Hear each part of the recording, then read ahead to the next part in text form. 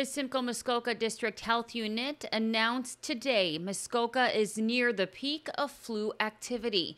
The cause of this widespread flu was not released. However, Bill Kuhn with Muskoka Pharmacy says he doesn't think it's because less people got the flu shot. History has shown that um, that viruses move in a pattern from the east to the west. So uh, you know, uh, what's prevalent last year in China, Indonesia, and Australia, there's a good chance that it'll be the viruses that will be prevalent here uh, this winter. And sometimes they nail it right on. Sometimes there's some guesswork and they just don't get the strain right.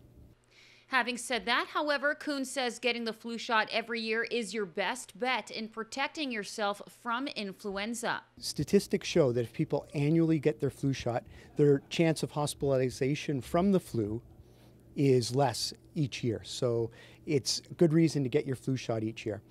That being said, I want to go back to basics. Like the first time we talked about the flu this year, it's important to know that the stomach flu has been misnamed the stomach flu for years and years, and it's not vomiting that's influenza. Influ- influenza is actually a respiratory disease, causes um, sinuses, coughing, headache, aches and pains, high fever, but it's not what my mom used to call the stomach flu. With that in mind, there are a few other simple things you can do to protect yourself.